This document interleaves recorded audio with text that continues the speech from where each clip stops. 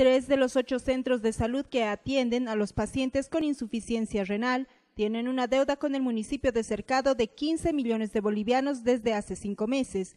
Los pacientes que realizan la hemodiálisis piden a la alcaldía se cancele o caso contrario iniciarán medidas de presión. Hasta el momento siguen atendiéndonos en los centros, pero cualquier momento nos paran.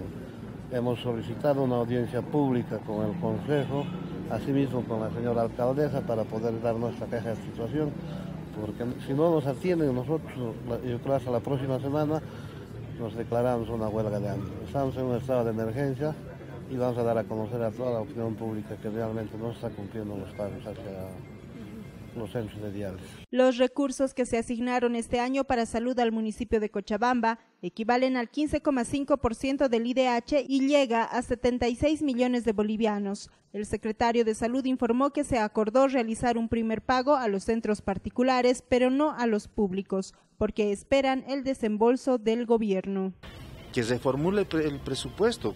Está permitido, todo el tiempo se puede hacer reformulados.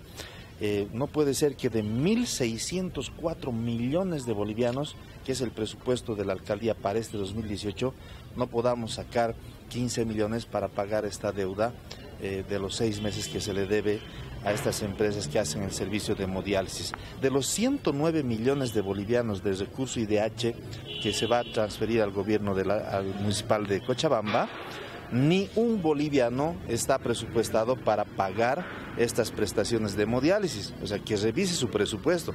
Todo el IDH, la alcaldía lo ha dedicado a fierro y cemento. Cercado cubre la atención de 614 pacientes renales, aunque el 40% proviene de otros municipios. Por ello, afirman que se necesita subir el presupuesto de 76 millones de bolivianos a 120.